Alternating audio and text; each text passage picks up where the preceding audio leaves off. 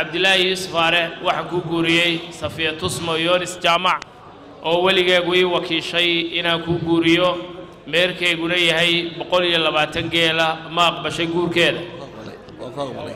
Waa markii ugu horraysay ee dhulka soomaaliyeed gabadh lagu meheriyo boqol iyo labaatan halaad oo socda. Carooskani ayaa waxa uu gaar u ahaa fanaanad abwaanad halabuurad jilaa safiya yoonis jaamac safiya tusmo iyo boqorka ay nolosha ku midoobeen ganacsade cabdilaahi yuusuf aare meherkooda ayaa ka dhacay magaalada booram ee xarunta gobolka awdal maanta oo jimco ah madashani ayaa waxay kulmisay salaadiin boqorro siyaasiyiin aqoon-yahan haldoor iyo marti sharaf kale oo qaaliya. Meherkani ayaa qaabkan saaka u dhacay. Waxaan idinka codsanaynoo idin weydiisanaynaa safiya yoonis jaamac aan u doonayno cabdilaahi yuusuf aare inadna siisaan iskuna gurino waan idin siinay safiyo yuunis jaamac oo aad u doonayseen cabdilaahi yuusuf aare. Mar labaad waxaan codsanaynaa meherkiina inaad noogu dartaan. Meherkana waa laydinku dari. Cabdilaahi yuusuf aare waxaan kuu guuriyey safiya tusmo yoonis jaamac oo weligeegu ii wakiishay inaan kuu guuriyo meerkayguna yahay boqol iyo labaatan geela ma aqbashay guurkeeda. Baaraka allaahu lakumaa wa baaraka calaykumaa wa jamaca baynakumaa fii khayr. Cabdilaahi hambalyo rikoor baad dhigtay taariikh baad dhigtay. Waan kugu hambalyaynaynaa inaad meherkaas aad maanta halka aad kaga dhawaaqdo. Waxaa la noogu yeedhay duqaydayada in aannu mara ka noqonno.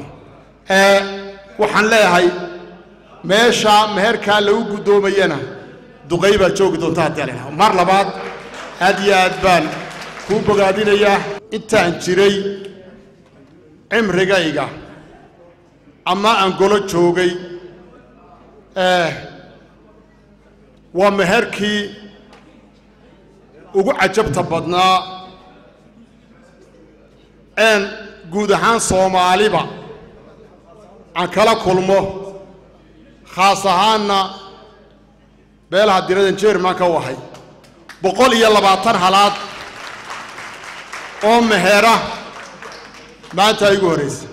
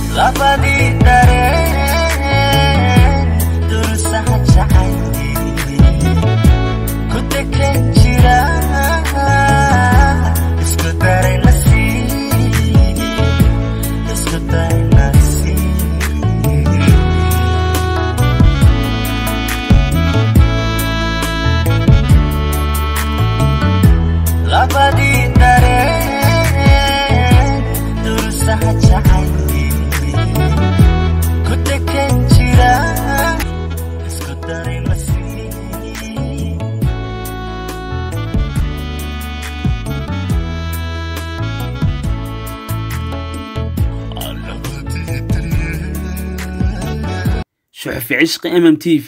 magaalada boorame ee xarunta gobolka awdal